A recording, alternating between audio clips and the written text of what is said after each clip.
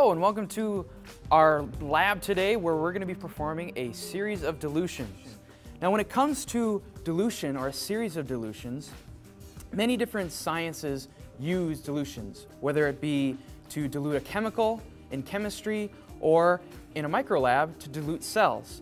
Now if you kind of take a look at this dilution or this stock vial, okay, it's very difficult to see or count how many bacteria would be present in this stock solution.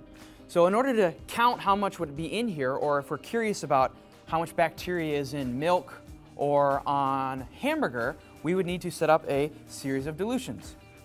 And we'd have our stock bottle. So in our stock bottle, we label that as 10 to the zero, because anything to the zero power is one. So this is our original one stock solution.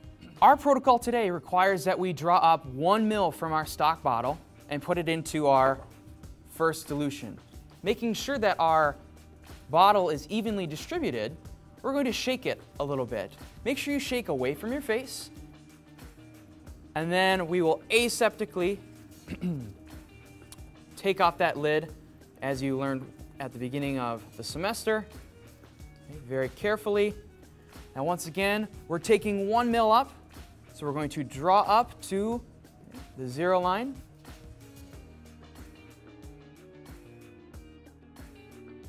Beautiful.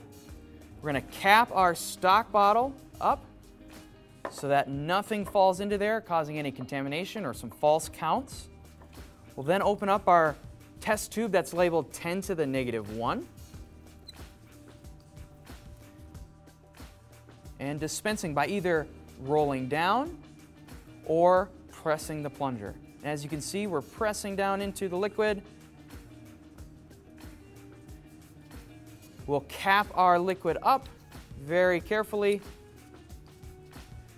We'll set that into our test tube rack, never on the counter, and dispose our pipette into our biohazard bin. Now this is a 1 to 10 dilution because we're taking 1 mil from our stock bottle and placing it into 9 mils of solution. So in this bottle, or in this vial, we have a total of 10 mils. We have 1 mil of our stock in a total of 10 mils, so 1 out of 10. A 1 to 10 dilution, or for those who prefer to work in exponents, 10 to the negative 1. So we've shaken this up very well. We're going to repeat what we just did. We're going to add 1 mil from our 10 to the negative 1 tube, however, and put it in our 10 to the negative 2. Give that 10 to the negative 2 a few shakes. And if we compare from our stock bottle to our 10 to the negative 1 bottle, or test tube, to our 10 to the negative 2 test tube, notice how that, as we go down in dilutions, our solution gets less and less colorful. It means that we are diluting out that color. For bacteria, we're diluting the bacteria and it's becoming less and less turbid. So if you've got a dark solution or a very turbid solution going to a less turbid solution, it means that you more than likely completed your dilution series correctly.